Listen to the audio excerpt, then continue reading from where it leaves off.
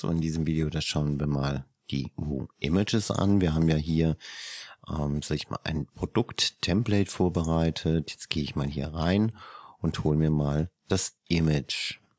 Woo Images. Okay. Hier wird erstmal gefragt, welches Produkt denn angezeigt werden soll. Wir nehmen natürlich variabel das aktuelle Produkt, das, was eben angewählt ist. Und jetzt kann ich hier die Elemente anschauen. Das bevorzugte Bild, die Galeriebilder und die Verkaufsabzeichen, die kann ich hier darstellen. Klicken wir mal auf OK. Jetzt schiebe ich das Ganze mal über den langen Beschreibungstext.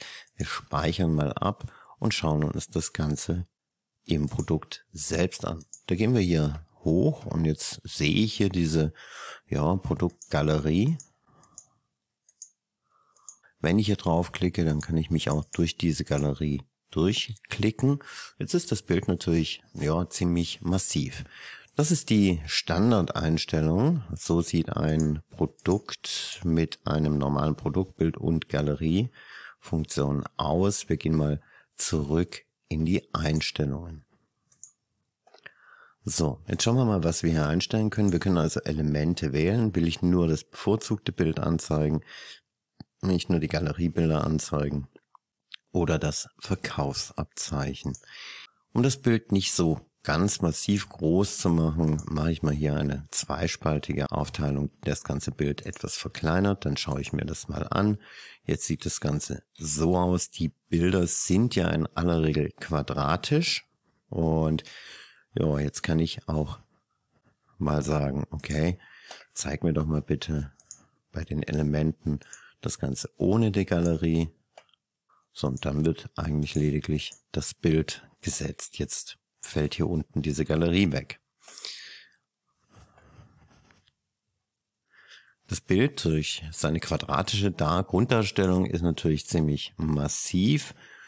Ähm, das Verkaufsabzeichen, das ist natürlich das Angebotszeichen. Wir werden mal dieses Produkt bearbeiten. Wir werden einen Angebotspreis setzen. Wir setzen mal den auf 35 Euro und aktualisieren das Produkt. Ja, also regulärer Preis ist 45, Angebotspreis ist 35 und jetzt haben wir aus dem regulären Angebot ein Angebot gemacht und jetzt haben wir hier diesen Verkaufshinweis, dieses Label.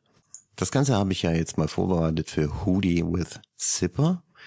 Da, das nehmen wir immer so als Kontrollprodukt. Und jetzt holen wir uns doch mal das Produkt einfach hier rein als Vorauswahl. Und jetzt können wir direkt die Gestaltung hier auf diesem Angebotslabel vornehmen. Jo, da mache ich hier mal eine andere Aufteilung. Jetzt sehe ich hier das Bild etwas kleiner. Wir gehen hier in die Einstellung von Images holen uns mal die Galerie dazu. Und jetzt schauen wir mal, was wir für Einstellungsmöglichkeiten hier haben. Wir gehen ins Design und schauen uns zunächst mal das Bild an. Hier kann ich einen Rahmen setzen, eine Rahmenfarbe, die Art. Ich kann auch einen Bildschatten hinzufügen. Der gilt jetzt auch für die Bilder hier unten in der Galerie. Machen wir den mal ein bisschen nicht so prominent. Dann gehen wir auf den Verkaufsanhänger Text. Da habe ich eine Schildfarbe und die kann ich anpassen. Das ist die Background-Farbe. Natürlich kann ich hier frei wählen. Ich nehme hier so ein helles Grau, ähm, ja, oder mitteldunkel Grau. Ähm, die Schriftart kann ich festlegen. Könnte jetzt sagen, okay, wir wollen hier eine Schreibschrift haben. Nehmen wir mal die Dancing Script. Das ist unser Angebot. Genauso könnte ich auch sagen, dass ich hier das Ganze, den Hintergrund transparent haben möchte. Jetzt habe ich nur allein die Schrift. Die darf rot sein. Wir wollen ja darauf hinweisen. Die darf auch gerne etwas größer sein und die kann natürlich auch als fetter Text dargestellt werden. Jetzt sieht das Ganze so aus.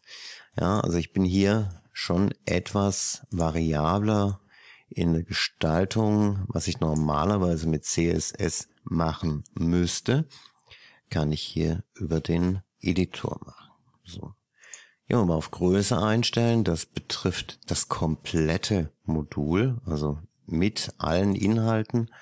Beim Zwischenraum, da habe ich einen Außenabstand, Innenabstand und ich kann auch das gesamte Modul nochmal mit einem Rahmen versehen. Ja, gut. Box Shadow zusätzlich könnte auch nochmal hier gesetzt werden. Macht für mich grafisch keinen Sinn. So sieht das Ganze noch ganz nett aus. Alles andere ist ein bisschen zu viel. Auch die transformierenden Animationsmöglichkeiten sind da. Schauen wir mal ganz kurz bei der Transformation. Das betrifft natürlich das komplette Modul, ja, das, äh, das wir hier machen können. So, bei den Animationen auch das komplette Modul. Und Jetzt gehen wir schon auf erweitert. Wir können natürlich eine Klasse vergeben, CSS eintragen, die Sichtbarkeit steuern und die Übergänge auch anpassen, also die Geschwindigkeit der Animationen, die hier zum Tragen kommen. Gut. Ansonsten haben wir noch die äh, Möglichkeit, das Ganze hier mit einem Scroll-Effekt zu versehen. Ich sage mal, ja, hier denke ich doch, ist weniger oft mehr. So, wir speichern das Ganze mal ab. Also das ist das Who-Image Modul und seine Einstellungsmöglichkeiten. Habe ich das Ganze jetzt eingestellt und lade mir das Ganze mal in die Produktvorschau. Dann sieht das Ganze jetzt so aus. Ja, und, und das funktioniert natürlich dann auch hier mit der Galerie. Da kann man sich verschiedene Bilder angucken.